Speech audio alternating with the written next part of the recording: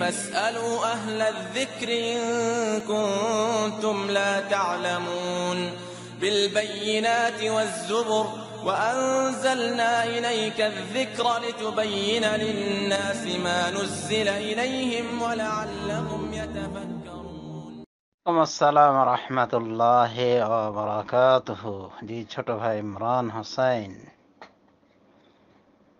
আপনি যে ভাইয়ের কথা বললেন যে উনি ভিসা নিয়ে গিয়েছেন, বিদেশি ভিসা আর চাকরি নিয়েছেন সিগারেটের দোকানে।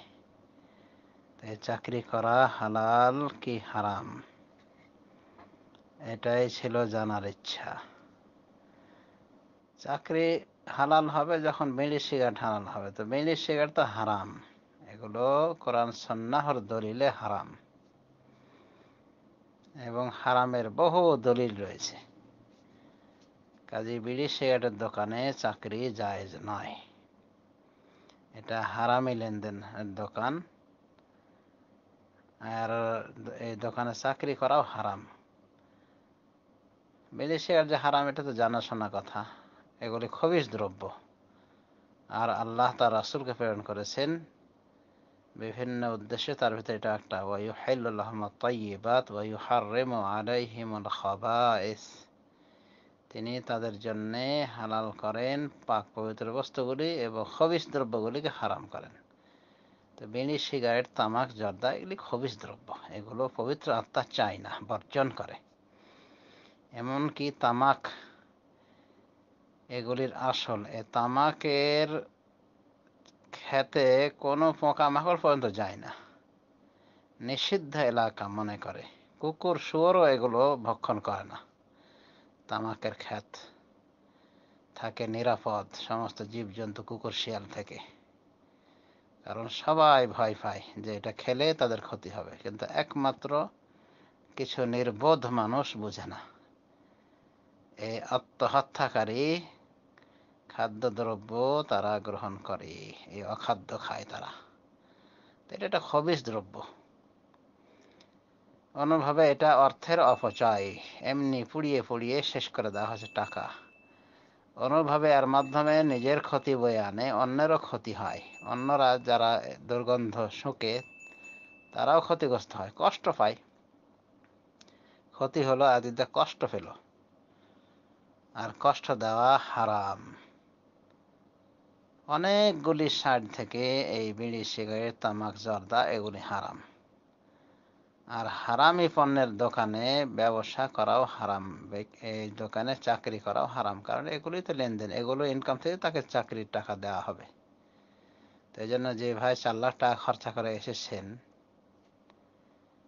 ওনার আগেই স্থির করা উচিত ছিল কোন কাজটা তাকে দেওয়া হবে। যদি এমন হয় যে উনি এরকম জানতেন না, তাহলে হয়তো আল্লাহ তাকে মাফ করে দিবেন, এভাবে এসে গেছেন। কিন্তু এখন তো মাফ নাই। এখন তো জানছেন যে হারাম দ্রব্যের দোকানে উনি ঢুকে পড়েছেন। তাই এই হারামি লেনদেনের দোকান থেকে অতি সত্তর তাকে তানাজুল নিতে হবে, অন্য জায়গায় চলে যেতে হবে। তার দিনের সেফটির জন্যে।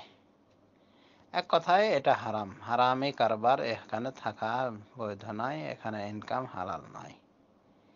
শরীয়তের বিষয়ে আমরা যতটুকু শরীয়ত আছে ততটুকু বলতে বাধ্য, ছাড় দিতে তো আমাদের কোনো ব্যাপার না, কিন্তু শরীয়ত ছাড় না দিলে কি করব? তো শরীয়তের বিধানে এগুলি চলবে না।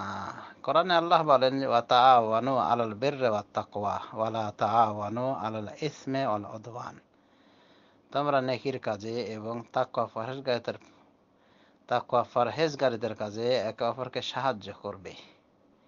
কিন্তু যেখানে গোনাহ রয়েছে, সীমা লঙ্ঘন রয়েছে, সেখানে কেউ কাউকে সাহায্য করবে না। সোরা মায়দা দু নম্বর আয়াত।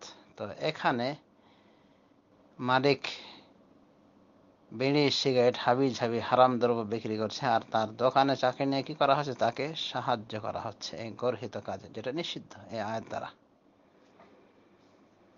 তাহলে বিভিন্ন দলিল রয়েছে যে দোকানের এই চাকরি এই ব্যবসা হারাম এবং তার অধীনে চাকরি নেওয়াও হারাম। আল্লাহ যে যে জিনিসের খাওয়া হারাম করেন, তার মূল্য নেওয়াও হারাম। যেমন সোর খাওয়া হারাম, সোর বেচে মূল্য নেওয়াও হারাম। মদ খাওয়া হারাম, মদ বেচে মূল্য নেওয়াও হারাম। ঠিক তেমনইভাবে বিড়ি, সিগারেট এগুলি হারাম। এগুলো বিক্রয় করে অর্থ নেওয়াও হারাম মালিকের জন্য হারাম মালিকের আমরা যে চাকরি করে এ করে এসব দ্রব্যের তারও জন্য এই চাকরির টাকা হারাম হারাম হারাম هذا وصلى الله تعالى وسلم على نبينا محمد وعلى آله وصحبه أجمعين والسلام عليكم ورحمة الله وبركاته